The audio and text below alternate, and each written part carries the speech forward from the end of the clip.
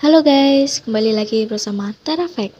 Kali ini kita akan membahas fakta Yuliana Sagala, seorang jaksa. Sebelum itu, jangan lupa like, komen, dan subscribe channel Terafek ya. Tanpa berlama-lama lagi, simak video berikut ini.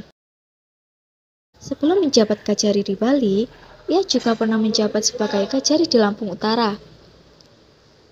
Di sana ia mencatatkan prestasi yang luar biasa.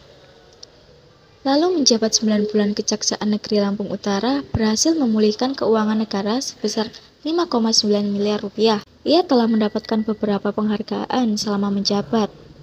Bukan cuma di Lampung Utara, di Denpasar prestasinya juga tak kalah.